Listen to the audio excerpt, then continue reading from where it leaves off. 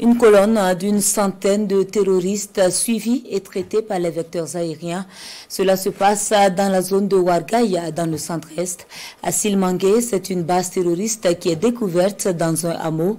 Tous ceux qui y avaient trouvé refuge ont essuyé les frappes des combattants. Les précisions dans ces commentaires de Bienvenue Tonsa. Opération reconquête du territoire. Ce jour, les vecteurs aériens ont suivi le mouvement de centaines de terroristes venus de la forêt de Kankamogri et de la forêt de Kabonga. Les criminels ont convergé vers un hameau dans la zone de Wargaï. Ils y feront jonction pour probablement préparer une manœuvre. Ils y seront énergiquement traités, avec rigueur.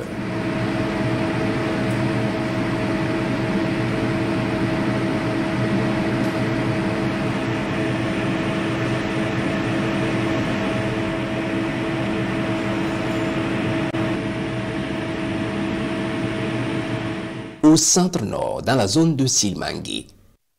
Les recherches ont permis de découvrir une base terroriste implantée dans un hameau à Pelout avec pour QG un bâtiment. Une bonne quinzaine s'y installe et sera frappée avec précision.